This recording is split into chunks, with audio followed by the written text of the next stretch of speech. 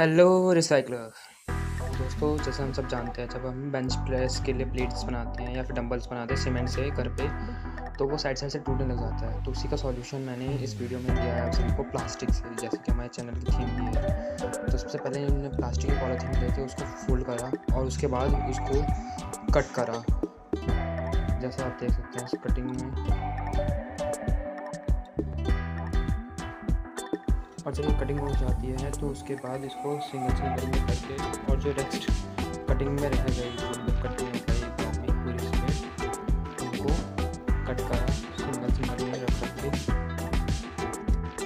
अब हमने अपनी प्लेट ली तो कि हमने कट बनाया, अपने जिसके जो बीच में हम बट कस दे सकते हैं इसको उसके निकाला, ताकि अच्छे से पॉलिथीन जा सके।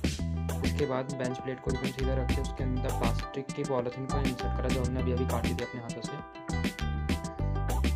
और इसके बाद इसमें फोल्डिंग करना शुरू कर दिया। पूरा राउंड करेंगे।